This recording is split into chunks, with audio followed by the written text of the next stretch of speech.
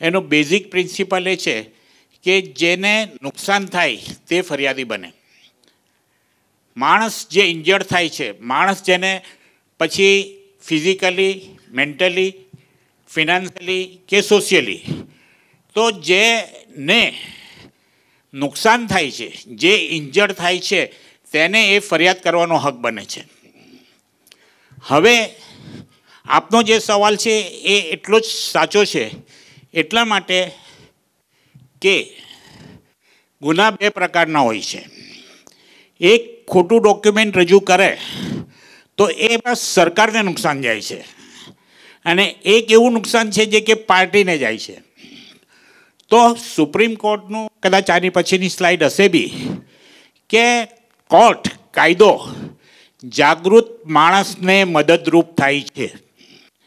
This is a settle principle of law જો તમને નુકસાન થયું હોય અને તમે સૂઈ રહ્યા હોય, તો કોર્ટ તમારા ઘરે આવીને તમને ન્યાય આપે નહીં.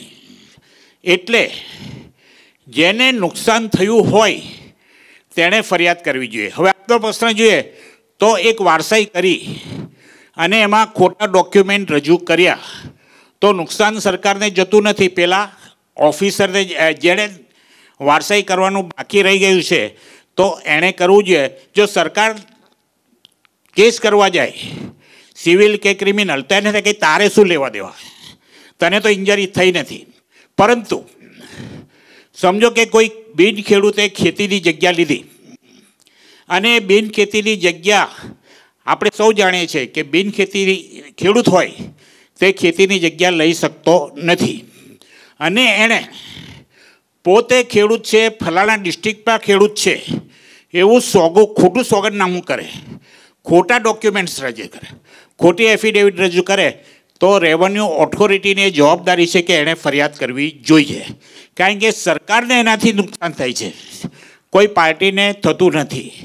તો ઇન્જરી કોને થાય છે તે ગુનામાં બહુ મહત્ત્વનું છે. જે આપણે ત્રણ એલિમેન્ટ જોયા.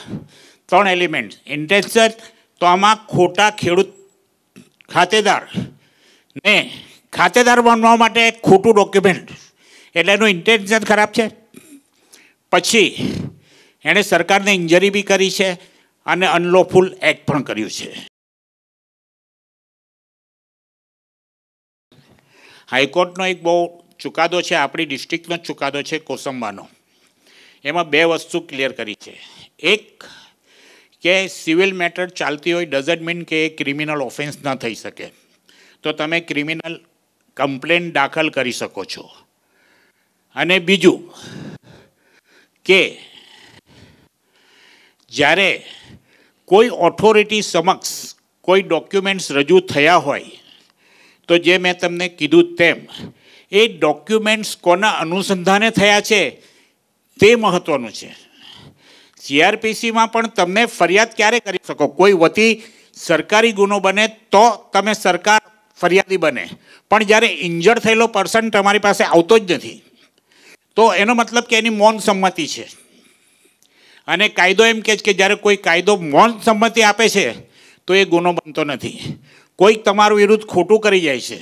તમે શાંતિથી બેસી રહો છો. તમે કોઈ એક્શન લેતા નથી. તો કોર્ટની કે ઓથોરિટીની એ જવાબદારી નથી કે એના વતી એનો બોજો પોતાના ખભા પર લે. એટલે જે જાગૃત છે, કોર્ટ એને મદદરૂપ થાય છે. અને સીઆરપીસીમાં પણ આવું કોઈ નથી કે કોઈના વતી તમારે એક્શન લેવા. હા, ખોટું કોના અનુસંધાનમાં થયું છે તે બહુ મહત્ત્વનું છે. સરકારના અનુસંધાનમાં થયું છે, સમાજના અનુસંધાનમાં જાહેર હિતના વિરુદ્ધ થયું છે. સમજો કે કોઈ ગવર્મેન્ટ લેન્ડ, કોઈ પચાવી પાડી. તો એમાં ઇન્જરી તો સમાજને થઈ છે, કોઈને થઈ નથી, તો એ કોણ ગુનેગાર? અથવા એની ફરિયાદ કોણ કરે? તો either revenue authority or police કારણ કે ગવર્મેન્ટની લેન્ડ પચાવી પાડવી એ બી આઈપીસી હેઠળ ગુનો બને છે. તો તમે એમાં એક્શન લઈ શકો, કારણ કે સામે સમાજ છે, ગવર્મેન્ટ છે.